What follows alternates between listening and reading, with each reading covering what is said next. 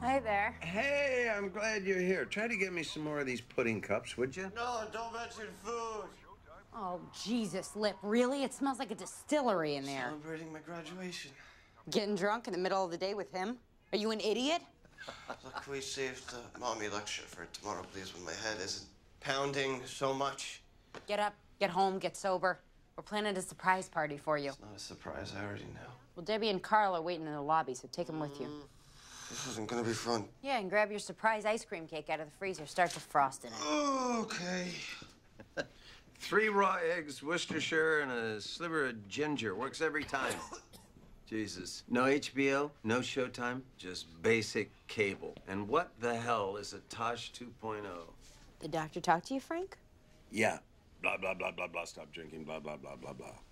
He told me you were really sick. Do I look really sick to you? Said you were throwing up blood. That's because I've got too much of it in me. It's a filtration process. My body knows how to flush itself out. Stop joking.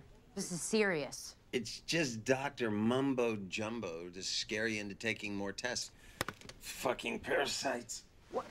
What are you doing? I gotta use the can. What? Let's get the nurse. I don't like the one that's on duty. She's fat. Roll that thing behind me, will you? Oh. Ooh, look. He said if you don't stop drinking, you're gonna die. As in, dead. You know, like no longer living, and soon. When did you start to care? Not sure that I do. I've dreamt about your death. Put money in a collection box and prayed for it. Blew out my birthday candles, wished for it. if it actually ever happened. I don't know if I'd feel relief or guilt. Your birthday candles? I wrote a letter to Santa once. So I'm supposed to stop drinking so that you don't feel guilty? No. You're supposed to stop drinking because you have children at home who love you. And I don't know why. Who would be destroyed if anything happened to you. Tragedy makes kids tough, Fiona. Then be the fabulous narcissist that you are and do it for yourself.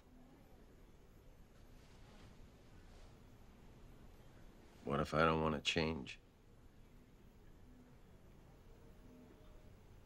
Then I would know what I've always feared is true. What is that? That you don't give a shit about any of us.